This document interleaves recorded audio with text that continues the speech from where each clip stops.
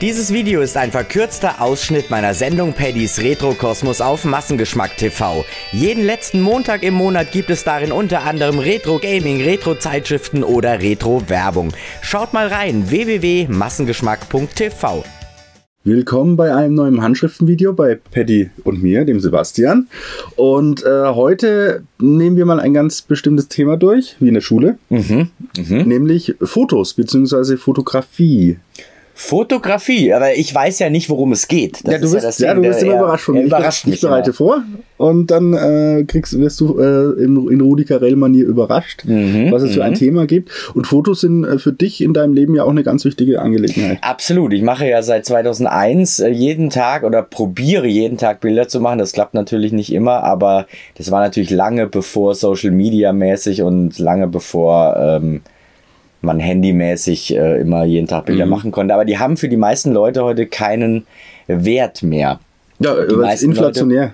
Genau, genutzt die wird. und bei mir ha, ähm, haben die Bilder einen Wert. Mhm. Also ich mache die Bilder, ich archiviere die, ich kümmere mich um die.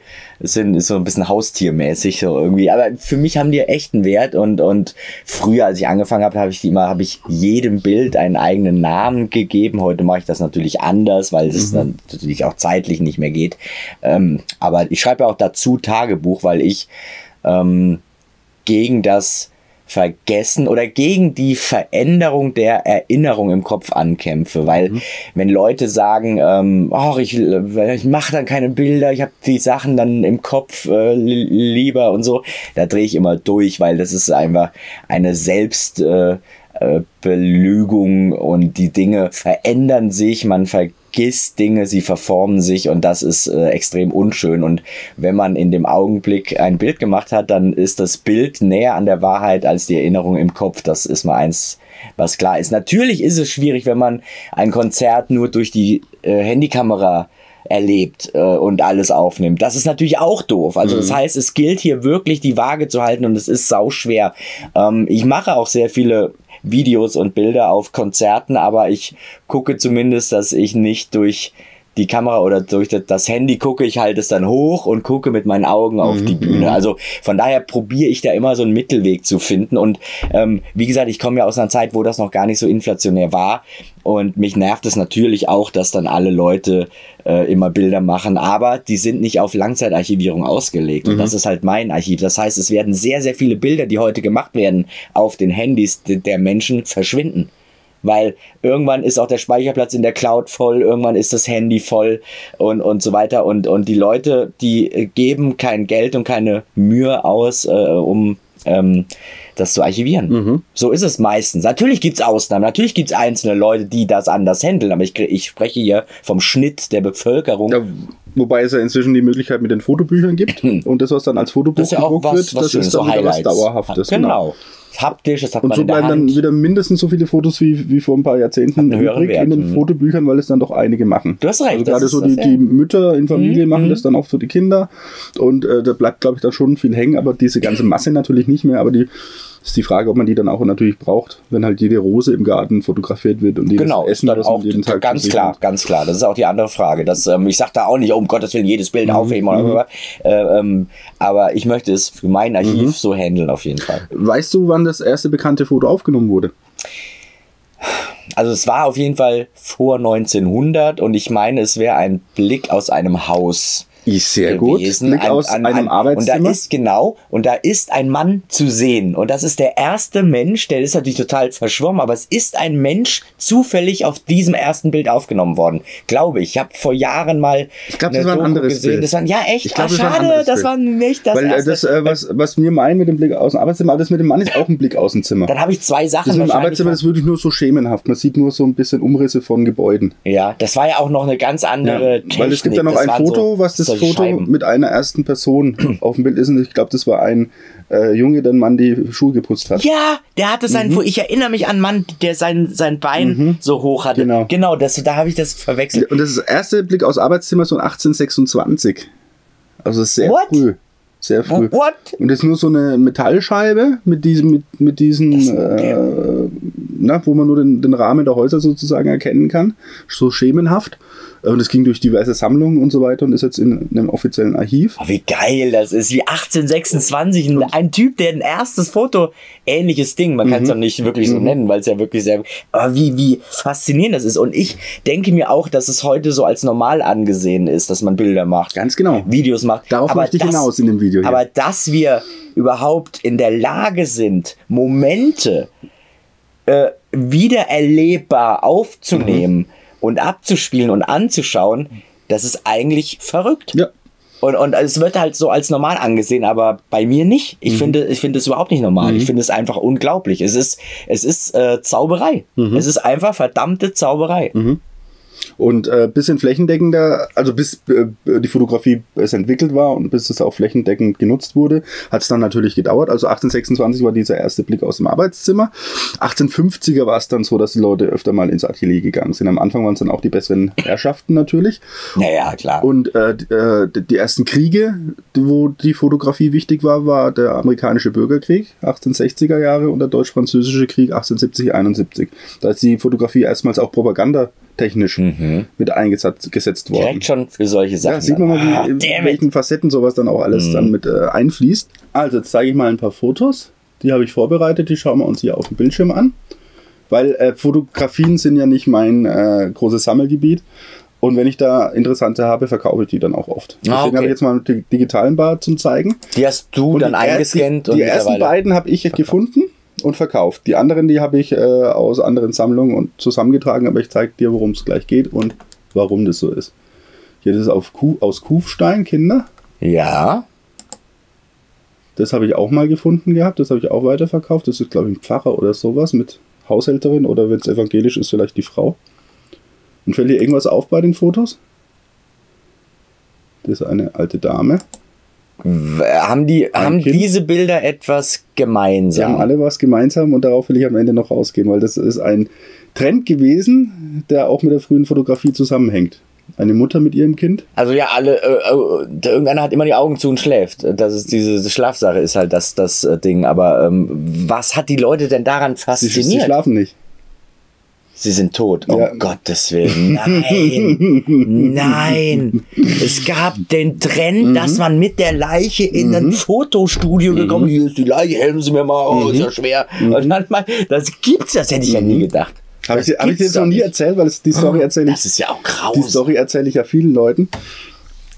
und deine Lippe zittert. Unfassbar. Das ist ja Wahnsinn. Ich meine, ich stelle mir gerade vor, man hat die Ja. Leiche im Koffer, so eine Kinderleiche, die schleppt man und die Leute, die, die, dass sie überhaupt einen Kopf haben für sowas. ja. Man hat doch andere Sachen Ja. zu, zu tun, wenn das Kind gerade Ja, gestorben ist. aber das war halt einfach, äh, wir haben ja gerade das Beispiel gebracht, wo die Frau geschrieben hat, sie ist froh, dass äh, die andere Frau, bevor sie gestorben ist, nochmal im Fotostudio war.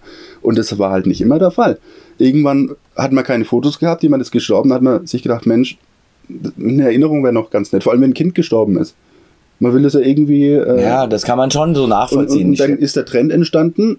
Äh, es gibt einerseits diese Sargfotos, die gibt es äh, teilweise bis heute, also in größerem Maße bis in die 50er, 60er Jahre. Die finde ich immer mal wieder in alten Fotonachlässen. Wow. Dass halt ähm, am, vor der Beerdigung nochmal äh, der Leichnam im Sarg fotografiert wurde. So wie der Kuchen auf dem Tisch nochmal fotografiert wird und so. Sag bloß.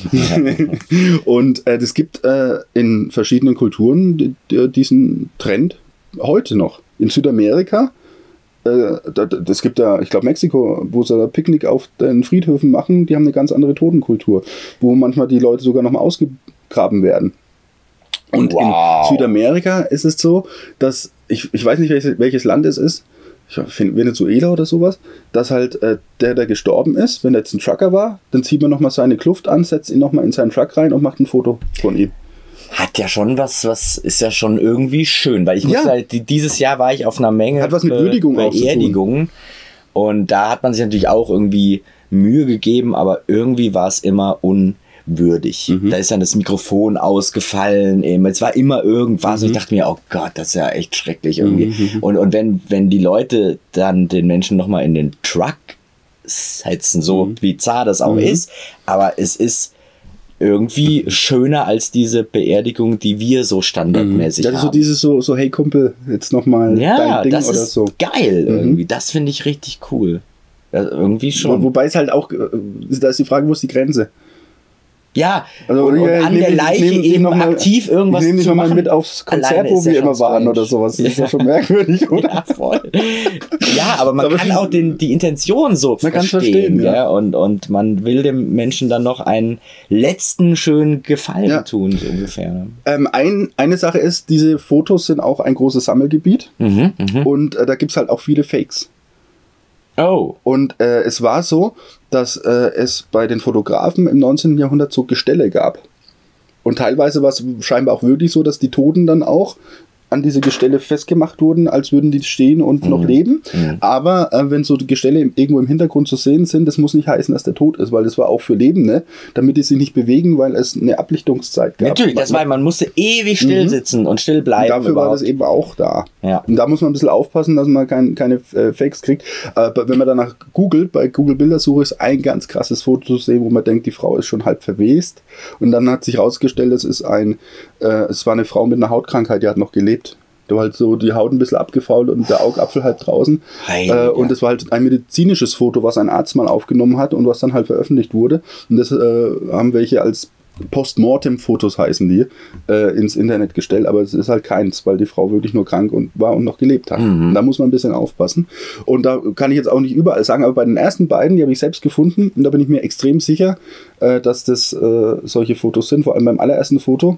Ich weiß nicht, geh mal Geh- geh noch mal zurück, gerne, mal gerne, zurück gerne. Aufs erste. Da sitzt das kleine Kind mal, äh, ähm, auch, äh, in der. Mitte, so richtig steif zwischen den Geschwistern. Richtig unnatürlich. Und äh, siehst auch, wie, wie der, die Füße Der Fu, steif ja, ja, gerade gesehen. Und, ja, und, die- der, und der Kopf ja. richtig nach unten hängt. Also da bin ich mir Und sehr. hier ist so, so irgendwas, äh, so ein Gestell, so ein Könnte sein wie so ein Gürtel noch. Wie so könnte aber auch eine ja. Schleife vom Kleid sein. Ich weiß es jetzt nicht. Aber ich finde das sehr eindeutig. Das hatte ich, wie gesagt, gefunden. Und das zweite habe ich auch gefunden mit diesem Pfarrer.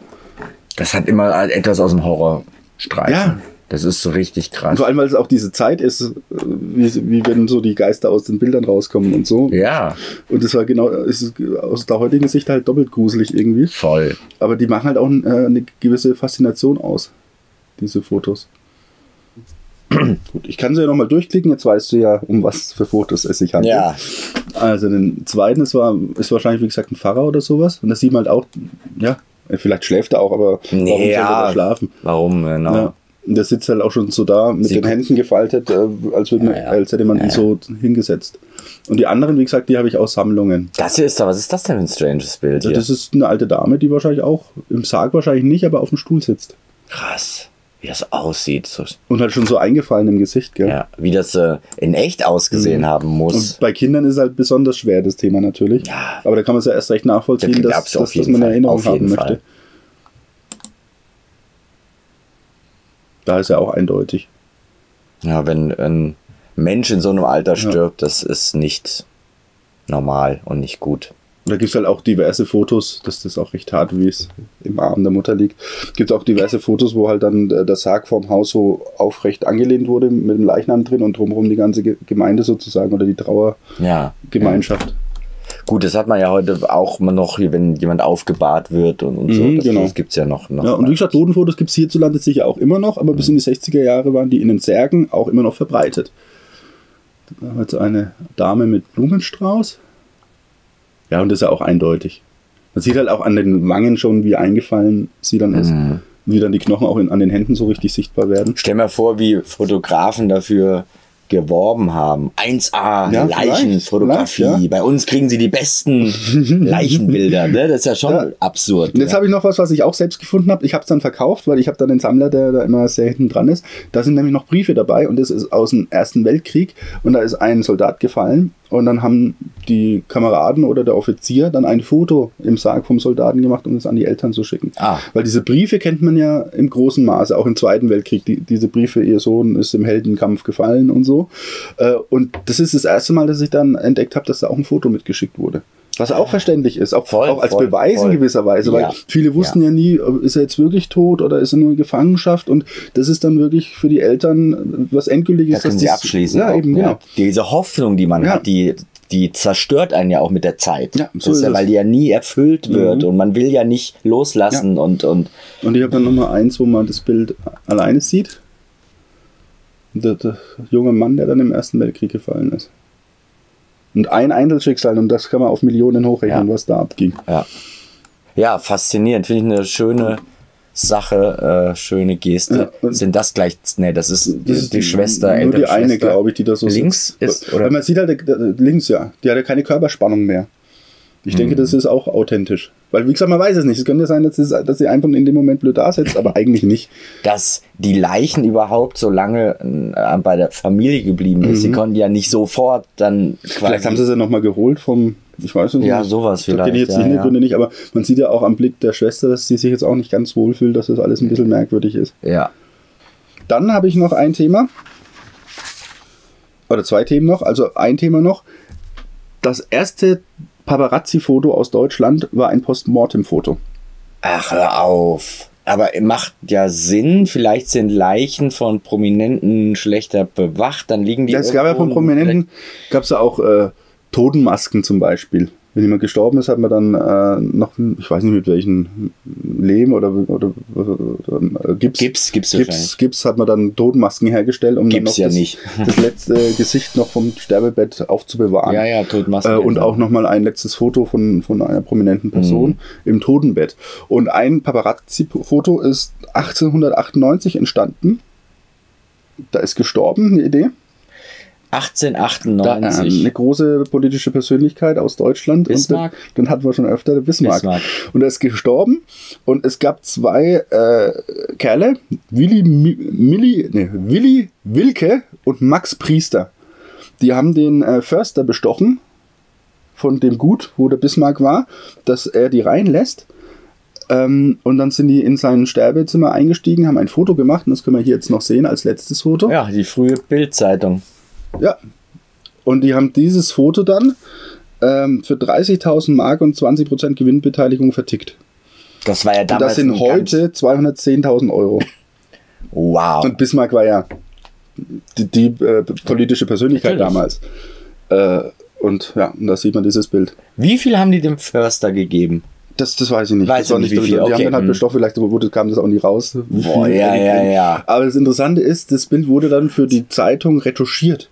Da wurde, was der im Hand hat, dieses, dieses Rotztuch rausretuschiert und ich glaube nebendran dieses Tischchen mit, mit, mit der Kanne. Ach komm. Wahrscheinlich, ich weiß nicht. Das ist ja unglaublich. Das sind ja Handlungsweisen, die man heute, von heute genau. kennt. Und das, das, war 1898 in der Medienbranche. nicht zu fassen. Ein ganz enger Freund von mir, Markus Nass, ist äh, Fotograf, hat lange in Köln gewohnt, wohnt jetzt in Berlin. Äh, nassfoto.de ist ist ein seine, seine Adresse. Name. Und ja, der ist ein ganz toller Mensch, äh, super, super Typ. Und der ähm, ist ja auch ganz integer und ähm, der hat sowas, solche Anfragen schon oft gehabt Mhm. und sollte sich dann für die Bildzeitung, äh, da soll- er sollte da irgendwie einmal eine Hochzeit von irgendwem fotografieren. Mhm. Und dann haben sie ihm gesagt, ja, da musst du da irgendwie äh, über die Mauer Und klettern. dann, das und so. wird Und dann dann- gern ausgelagert wahrscheinlich, damit man selbst. ja, ja, nicht an so freie Fotografen. macht, ja. ja. Und da hat er gesagt, Leute, habt ihr das eigentlich nur alle? Also Mhm. der ist ganz integer und, und, und, und da kann er auch Stories erzählen. Der kriegt oft solche Anfragen Mhm. von wirklich Leuten, die kein Gewissen haben. Mhm. Es ist so, äh, diese Boulevard-Zeitungsszene, die ist ganz schlimm, menschenverachtend und einfach ekelhaft. Mhm. Ja. Ekelhaft. Abschließend noch ein Erinnerungsbüchlein. Ach, das tun wir mal weg. Was ich gefunden habe, das ist noch in meinem Besitz. Und da ist der Vater gestorben. Und da hat dann die Familie für den Vater noch ein Erinnerungsbuch gemacht, wo man selbst dann drin blättern kann, sozusagen. Und da haben sie dann, also es ist schön hochwertig alles. Und dann haben sie dann hier den Vater noch, ein Ach, normales. Foto. Sylt Sehr 1926. pat aus patriotisch alles mit den Mhm. Landesfarben. Heimat, und so irgendwie. ja. Hat natürlich dann immer aus Heimat, der unser Zeit so einen Herz. Anstrich, ne? Dieses, Mhm.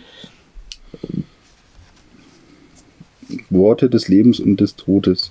Und da haben sie dann Zitate, glaube ich, von ihm reingeschrieben. Ich bekomme doch allmählich den Eindruck, als ob sich alles um mich dreht, als ob ich ein Weltensystem für sich bin. Ich bleibe mal ein bisschen durch, ein paar kurze vielleicht noch. Die Entscheidung liegt in der Mitte. Da liegt der furchtbare Kampf. Ich habe das Gefühl, dass es nicht so herumkommt, sondern andersherum. Weisheiten Mhm. des Lebens. Und das sind scheinbar alles Zitate vom Vater. Mhm. Mein Hermann, wie schön, wie schön. An, Okay. Herm, an H. gerichtet, also an Hermann gerichtet. Und da haben wir dann Ein Totenbild. Totenbild im Totenbett am Ende. Ja. Und ich glaube noch mehr sogar. Grab, Aber irgendwie eine, Trauerfeier in Ohlsdorf. eine tolle Erinnerung. Ja. Und hier haben wir hier nochmal Aber Moment Totenbett. mal, wenn da ein Artikel ist, Trauerfeier in Ohlsdorf, dann war das vielleicht sogar eine Da Persönlichkeit. Eine regionale Persönlichkeit, glaube ich. Praktischer Arzt und Korpsarzt der Hamburger Feuerwehr. Ach, Mhm. interessant. Hier noch mehr Leichenbilder. Und eben auch vom Sarg und vom. Und die Grenze wie heute Ja, und so ne? Grenzen sind halt äh, vielen dann auch wichtig. Also, wie ist es schön hergerichtet gewesen und so. Na. Genau. Und mal gucken, was wir noch alles drin finden. Da können wir sicher noch schöne Videos Ja, ausmachen. tolles Video, äh, ganz, ganz toll. Herzlichen Dank für deine Mühe, Planen und äh, überhaupt dir das Ausdenken. Also äh, klasse, ganz, ganz toll. Sehr gerne und bis zum nächsten Mal. Tschüss. Tschüss.